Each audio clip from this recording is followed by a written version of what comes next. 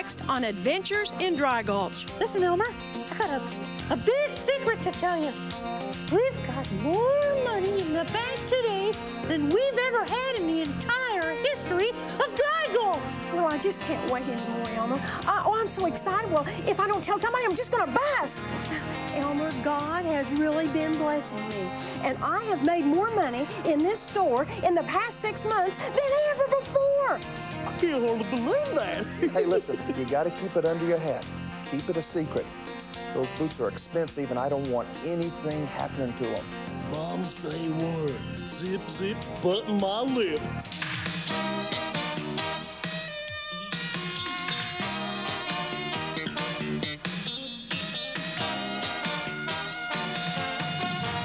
It's Adventures in Dry Gulch, featuring the Sheriff Gospel Bill, his sidekick, Nicodemus, the general store owner, Miss Lana, good old Elmer Barnes, banker and mayor, T.U. Tutwater, and the entire Dry Gulch gang.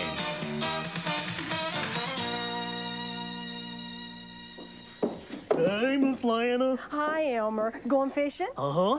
Notice anything different?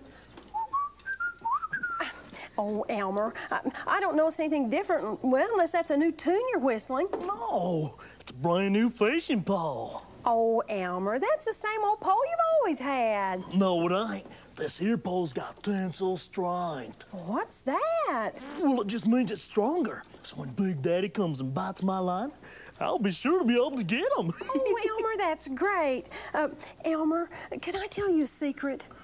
Well, sure. If you can't tell me, who can you tell? Well, I just can't wait anymore, Elmer. Uh, oh, I'm so excited. Well, if I don't tell somebody, I'm just going to bust. Elmer, God has really been blessing me. And I have made more money in this store in the past six months than ever before. Elmer, I've got more money in this register than I ever have. Ooh. But, Elmer, don't tell anybody because, well, it's our secret. Oh, you can count on me. I won't tell a soul. Mom, say word. Zip, zip, button my lip. Thanks, Elmer. See you later, Miss Lana.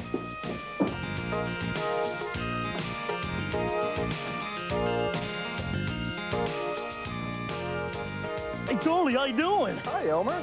Take a look at that. It's my new fish ball. Well, what's so special about this? Well, I'll tell you what's so special about this.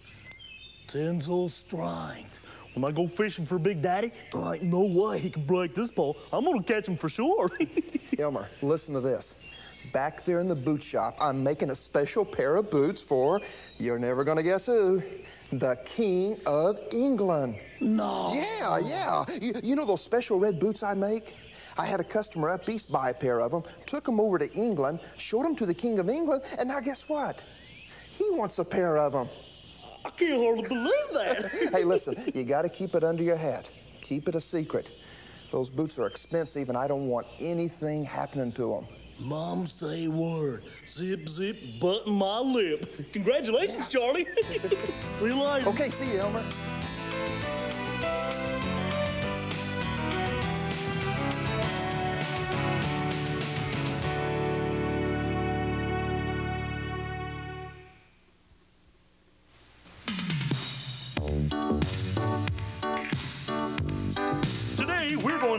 A very funny family. These guys really know how to monkey around. and do I mean monkey? Let me introduce you to a family of lowland gorillas. Now, this is Roger, and he's the teenager of the family. He's probably looking for a bug to snack on. Roger eats everything in sight. And this is Big Daddy. He weighs in at about 400 pounds. That's as much as two full grown men. These gorillas look really mean and ferocious, but they're not. They're really very gentle. And this beautiful lady is Mom. Hello, Mom! Because male gorillas weigh so much, they leave the tree climbing to Mom and the kids. And hey, here's Junior. He's the baby of the family. Hi there, little fella. Now, gorillas live in the forest where there are lots of trees. They're very timid animals who prefer to stay away from human beings. Gorillas do not eat people or other animals at all. In fact, they feed on fruit and buds from plants. In the wild, they are found deep in the jungles of Central Africa.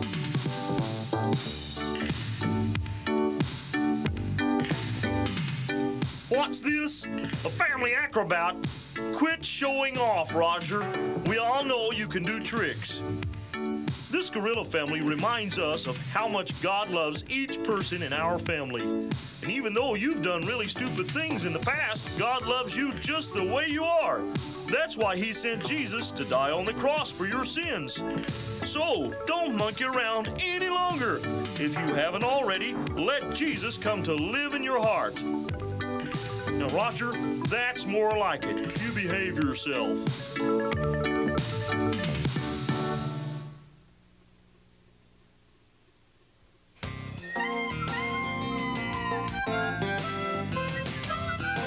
Oh, hi, Elmer. Hey, Cornpone. Take a look at that. Oh, it's uh, a fishing pole. Ooh, it ain't just any fish pole. This is my new fish pole. Oh, really? Well, I thought it kind of looked like your old one.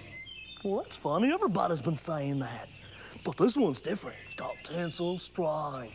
When I cast that line out there and Big Daddy hits it, whammo, one pole and I'll have him. He won't break this pole. Ooh, that's really neat. I'm real happy for you. It's about time you caught that fella. Uh,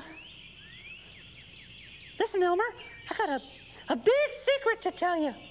We've got more money in the bank today than we've ever had in the entire history of Dry Gulch. wow, how come? Well, it seems that the United States government decided to send the payroll for the entire army in this territory to this here bank. Whoa. Yeah, but I want you to know something. This is a big secret, and only because you're my good friend have I told you. The only people that know is me and Mr. Tutwater, and now you. And Mr. Tutwater, he's gone out of town on a business trip. You gotta promise not to say anything. Oh, you can count on me. I won't say a thing. Zip my lips, shut my trap. Mumsy word. Oh, good. well, congratulations on your new pool. Well, thanks. Congratulations on your money. See you later. Bye.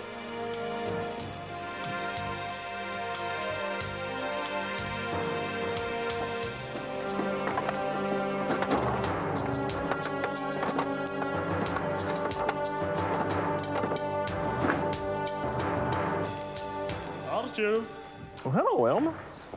Hey, how do you like my new fishing pole? Yeah, it's quite a pole, but uh, I don't think I can tell any difference between this one and the one you had before. oh, there's a whole lot of difference. This one here's got a whole lot more tinsel string. More tinsel strength. Well, what does that mean when you go fishing? Well, it means it's going to be stronger.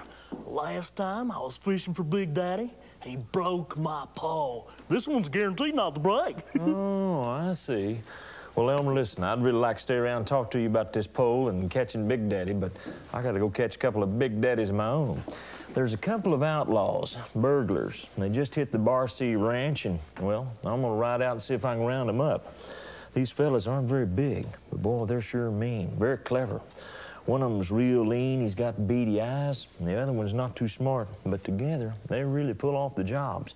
They've hit just about every town in this territory, and I'm going to see if I can get out and pick up their trail before they get to Dry Gulch. okay, see you later, Sheriff. All right, Elmer. Ooh, I guess I oughtn't to let the citizens of Dry Gulch know Sheriff ain't gonna be in town.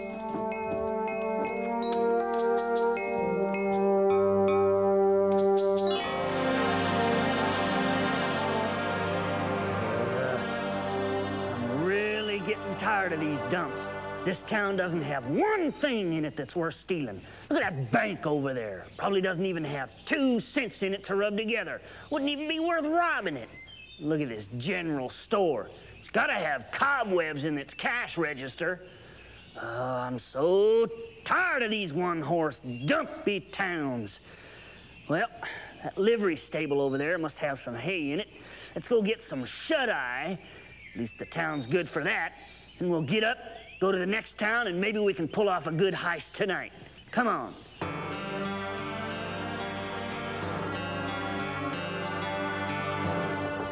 Cornpone, come on out of here. What is it, Elmer? Got something important I need to tell you. Well, what? Gospel Bill had to go out of town looking for two bad guys been holding burglaries in the area.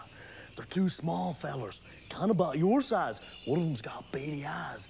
And seeing how you got all that money right there in your safe. Shh, That's a secret, Elmer. Okay, I know it's a secret. But listen, if I was you, I'd keep an extra close eye on all that money till Gospel Bill catches those bad guys. Well, okay. I'll, I'll do that. Thanks for coming by. I really appreciate it. Okay, see you later. Bye.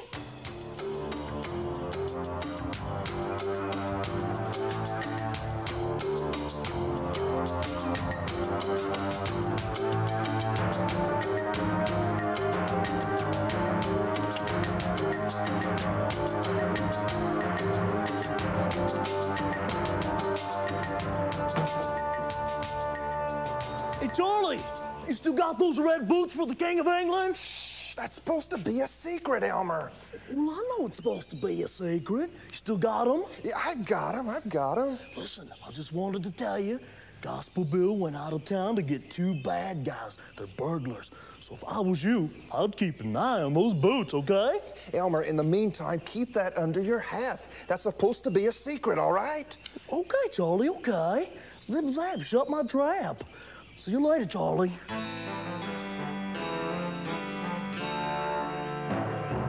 gonna love this. It's gonna make a beautiful Miss. Lana, gotta tell you something. You know all that money you got right here in this cash register? Shh, Elmer, I told you it's a secret.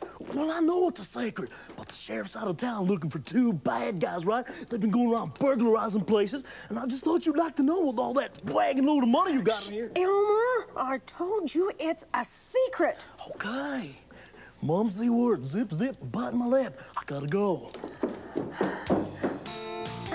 A- a- And, as I was saying, uh, it'll make a beautiful apron.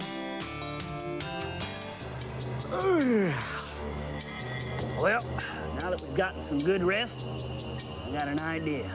We'll move on to the next town.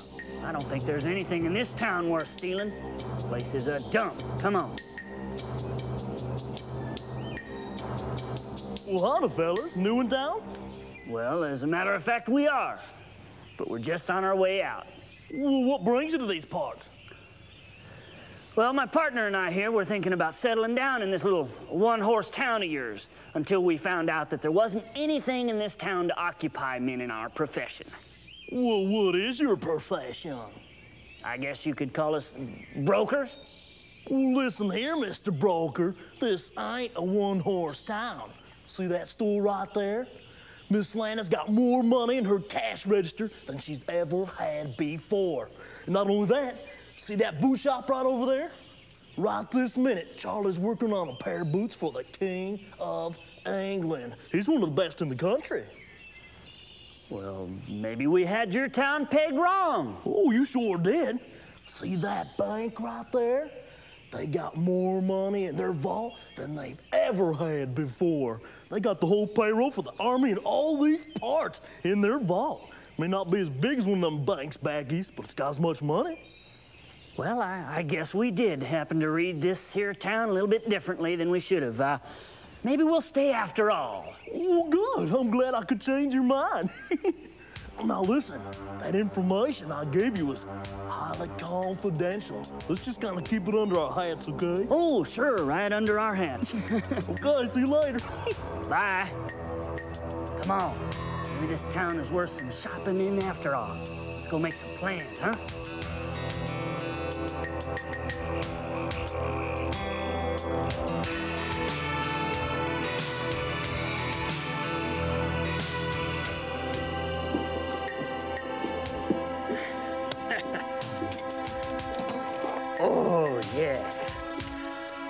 This is the easiest money I've ever earned.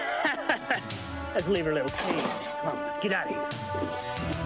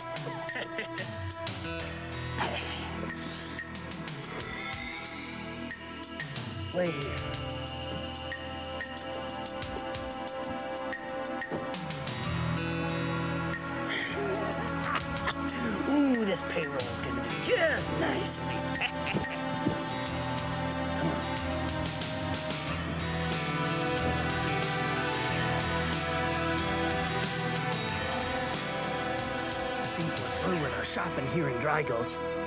Hey, I've got an idea. Let's go by that bumbling idiot Blabbermouth's house. Hey, we'll cover our tracks. We can leave some incriminating evidence. I'll leave this box and one of the money bags. Come on, let's go.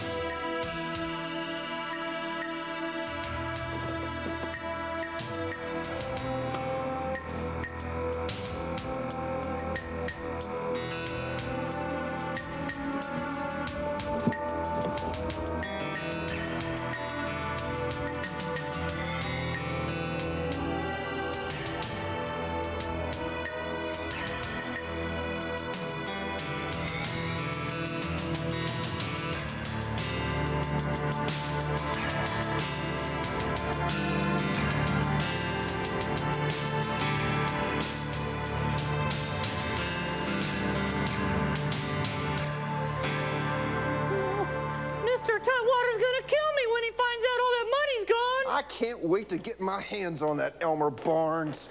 Now listen, fellas, I've known Elmer Barnes for a long time, and this doesn't sound like him. Now, there's got to be a simple explanation. Wait a minute. What's going on here? Well, the money's been taken from. Now, hold on just a minute. Just a minute now. One at a time. Ladies go first, Lana. Somebody took all the money out of my cash register. Cornpone? Well, somebody's taken all the money from the bank. Charlie? I was making a special pair of boots for the King of England, and now they're gone. And I know Elmer Barnes took them. You don't know that, Charlie. Now, hold on just a minute. Charlie, why do you think Elmer took the boots? Well, uh, Elmer was the only one I told. And, and now they're gone. I'm sure he took them. And I did tell Elmer about the extra money coming in from the payroll. Well, I told Elmer that this was the best month I'd ever had, too, but that doesn't mean he stole the money. Hold on just a minute now. Elmer's the only one who knew about your money, Lana? He's the only one I told. Cornpone, are you sure that nobody else knew about that payroll? I'm positive, Sheriff. Charlie, did you tell anybody else about those boots? No, Elmer was the only one I told. And now they're gone. I'm sure he took them. Now, wait a minute. I'll admit this does look mighty suspicious, but I've known Elmer Barnes for a long time, and I've never known him to steal. Now, I'm going to go right over there to Elmer's place and have a good long talk with him. We're going to get the bottom of this, and I'll let you know what I find out. I guarantee it, Elmer Barnes took those. I do know it. I do know it. I do. Hey, fellas. Come on out, Dinky. Come on out, Dinky. I'm gonna take you fishing. Oh, no, I won't use you as bait. Well, well, have I ever lied to you before? Come on in. Say, Elmer, I need to talk to you about something mighty important. Are you aware that the bank was robbed last night? Why, no. Yeah, somebody broke in the bank, took all the money out of the vault, and that's not all. Somebody broke into Lana's general store and took all the money out of the cash register, too. Oh, no, that's terrible. And somebody got into Charlie's boot shop and stole the boots that he was making for the King of England. Oh, that's just awful. You didn't know anything about those things, Elmer? Why, no, I didn't. Well, now, Lana and Charlie and Orville Cornpone, all three, told me that you were the only one who knew that there was lots of extra money in the bank and that Lana had a lot of money in her cash register and that there were boots like that in uh, Charlie's shop. Well, that's true, Sheriff. I did know about those things, but I didn't steal anything. Wait a minute. What's this right here, Elmer? This box is from Charlie's boot shop, and this money bag is from the bank. Elmer, is there something you're not telling me? No, Sheriff, I've never seen those things before. Elmer? Wait a minute. There was those two guys. What two guys? Well, those two guys that came to town. They started talking down Dry Gulch real bad. Said it was just a one-horse town and nothing important happens here. So I started telling them about all the important things like Charlie's boots and, and all the money at the bank and, and Miss Lana's money. Oh. Elmer, those two guys were the burglars I was after. And you told them about all that stuff, and that's why they stole it. It looks to me like they must have framed you to make it look like that you were the one who stole those things. Well, Elmer, I'm going to pick up the trail and see if I can run them down. In the meantime, you're going to have to learn to keep a secret. Yes, sir, Sheriff. Oh, Lord. Forgive me for being such a blabbermouth and causing so much trouble. Oh, no.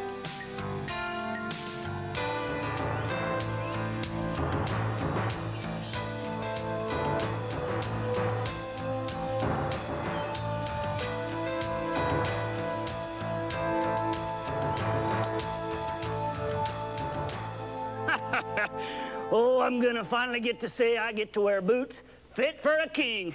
Yeah, and it looks like there's at least $50 in this here sack. $50? Well, there ought to be at least $10,000 in that sack. And just think, we owe it all to that blabbermouth back in Dry Gulch. And nobody's gonna suspect us. They'll think he did it.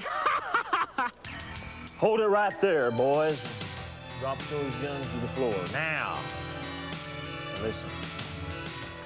These boots look to me like they came from Charlie's boot shop in Dry Gulch.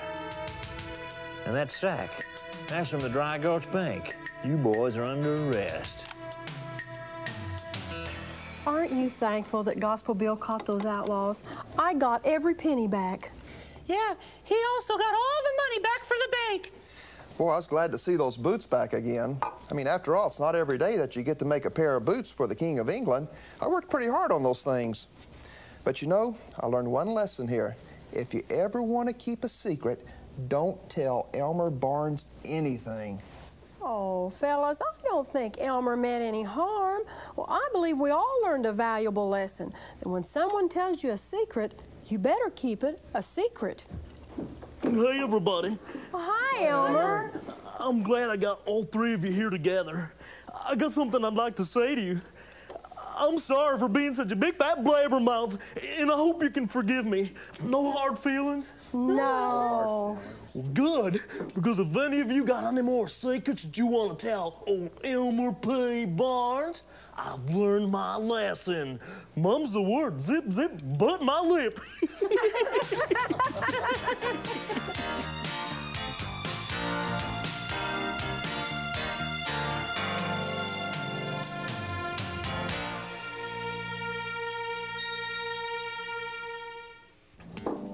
hey, Miss Lana. Oh, Elmer, I'm so excited. Here's the new free catalog. There's your copy. Wait, it's even got my name on it. Look at this new curriculum Man's Beginnings and God's Chosen People for 6 to 12 year olds. And there's a curriculum for little fellas, too, called Friends with God by Beverly Capps Burgess. And teaching aids for children's workers. Why, they even have a new Bible puppet skit video. And there's training in school Camp Dry Gulch USA for children's workers. And for teenagers, Youth Express by Blaine Bartell. We're going to get our teenagers fired up for God. And we can do it with Fiber Night videos for teens and youth groups. And they have teaching cassettes for teens and t-shirts. And for the little people, they have books and tapes. And look at this here, Miss Lana. Smarter Pants Nicodemus has eight music cassettes out. And the Video Purchase Club. Oh, Elmer, we can't get this in in 60 seconds. What are we going to do? Well, just do what I did. Call the hotline number right here for your free catalog or write Willie George Ministries, Post Office Box 639, Broken Arrow, Oklahoma, 74013.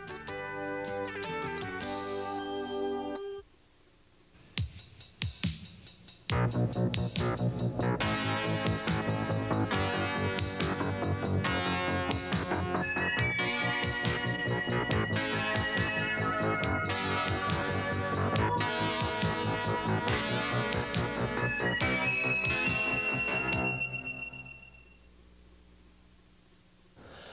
Know, the Bible says that a talebearer revealeth secrets, and the book of Proverbs condemns the kinds of people who just tell everything and anything that they know. You know, we've got to learn to control our tongues. We can't just speak out everything we hear, and we can't speak everything that comes into our minds, because if you don't control your tongue, it'll get you into all kinds of trouble. You know what it'll do? It'll make your life into a great, big, fat mess. You see, the Bible says that the tongue can be such an instrument that it is untamable. That means it's worse than lion or tiger. Uh, you have a hard time controlling it, telling it what to do. It just goes wild. And so it's important for you not to let your tongue go wild because if your tongue begins to go wild, it will mess up your life because your tongue controls the direction of your life. Wait a minute, we've got a real mess already here. This guy's tongue is going wild. Now listen to this. Let's put this tongue back in, guy. You're going to have to roll this back up now. Now hold on to that right there, okay? Now we've got his tongue under control. All right, there it is. Now, the tongue, the Bible says, can be a, an unruly evil, full of deadly poison. And, and we need to be careful that we don't allow poison to come out of our mouths. And we got to watch the things we say. We've got to learn to keep secrets when it's appropriate. And, uh, and then we can't just allow any thought and every thought that comes into wait, this is happening again. You see, it's very, very, very tough to control the tongue. In fact, the Bible says the tongue is something that no man can tame. Well, in view of that, I think we better put this guy away and start talking about something else. I want to tell you that it takes the Lord's help to control your tongue, and only He can help you get control of that thing that's under your nose that can cause you so much trouble. And you can ask the Lord to help you control your tongue if you're a Christian, and you can do that by speaking His Word instead of all the negative things that uh, you think in your mind. And then, if you've never invited Jesus to come into your heart, you can do that too. And He'll come inside you and He'll help you control that tongue and say the right thing. You know, the Bible says Jesus died on the cross for all of our sins. He did that for you and for me. Then the Bible says that He was raised from the dead, brought back to life again, and He never died. There have been a few people down through the ages who've been raised from the dead, but nobody like Jesus.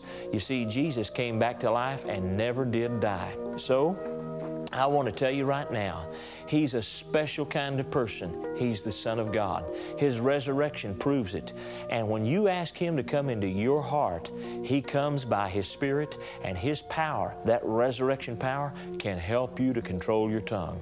So right now, if you've never invited Jesus to come in your heart, just bow your head and say, Lord Jesus, I believe you died on the cross for me.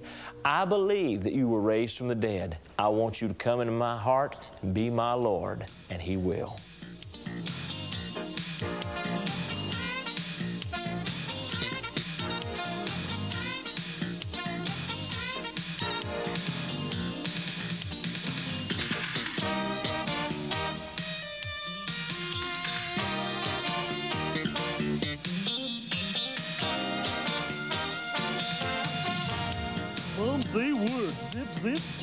Clumsy